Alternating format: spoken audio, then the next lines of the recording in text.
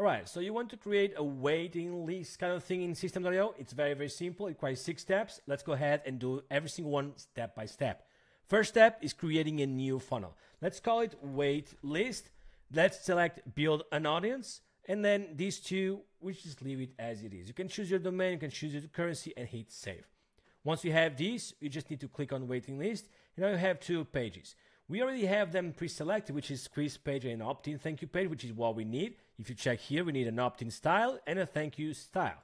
Okay, so you just go ahead and select any of these that you want. In this case, I'm just going to go for, you know, from this one, for example. So I'm going to click create hit.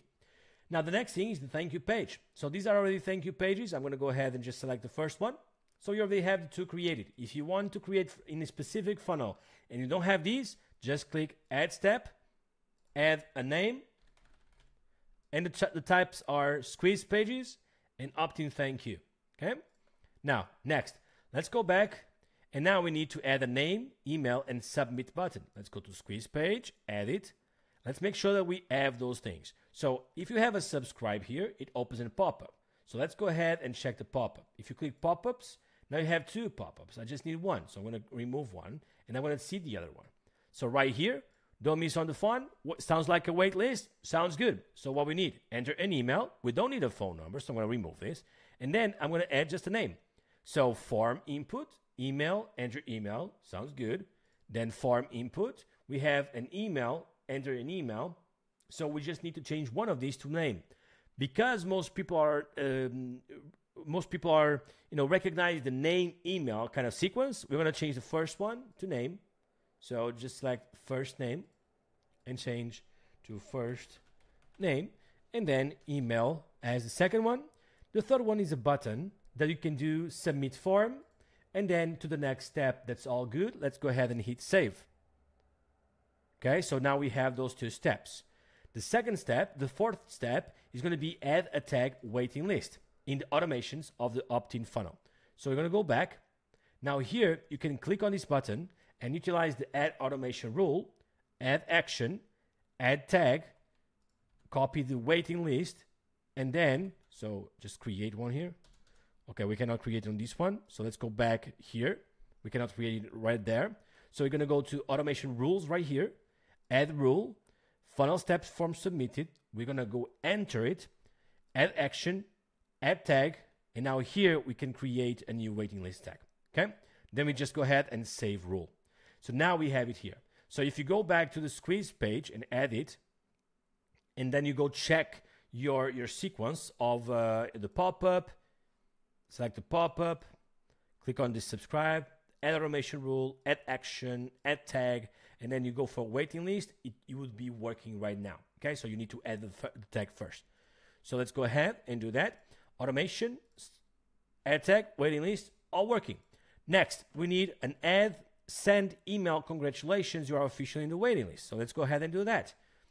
Here, whenever they opt in, we can go ahead and add an action, send email, and then we create on this plus, and we're going to send an email. So subject, congratulations, preview, um, you know, check inside, and then you just add your your your name. So for example, you can use your first name, you can use your you know whatever you want to use in here in this case. So for example, um, we don't even have we don't need anything else to be honest. So just first name and then you say congratulations, etc. etc. etc. Okay. Then what you do, you just hit save, and now you have your email right here, and then you just hit save rule.